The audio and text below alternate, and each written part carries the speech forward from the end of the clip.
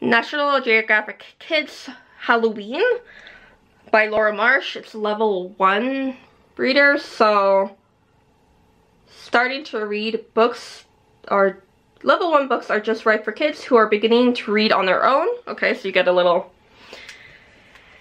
information about that. Uh, so this one is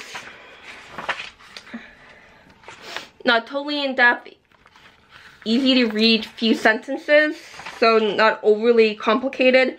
So like in October, have you seen these these things on Halloween? Um, so candy corn is a popular Halloween treat. It was first made more than 100 years ago. What's your favorite Halloween candy?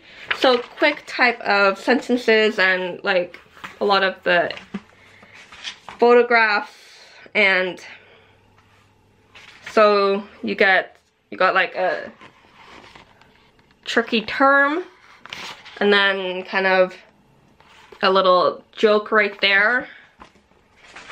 So you get quick sentences and like six Halloween facts.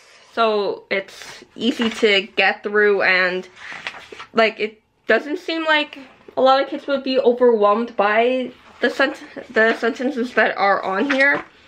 So,